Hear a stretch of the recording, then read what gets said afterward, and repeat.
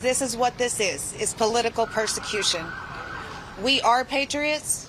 Ashli Babbitt was a patriot. My husband is a patriot. Rosanne Boyland was a patriot. And all I can say is that y'all can all go to hell and I'm going back to Texas.